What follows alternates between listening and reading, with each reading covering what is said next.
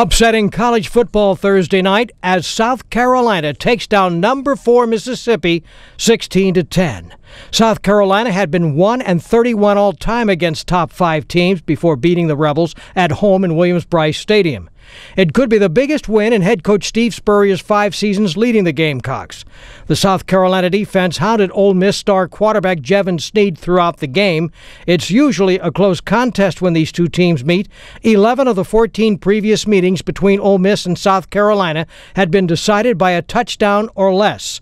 The two teams have only met six times since South Carolina joined the SEC in 1992. Mississippi hasn't been ranked as high as number four since quarterback Archie Manning led the Rebels in 1970.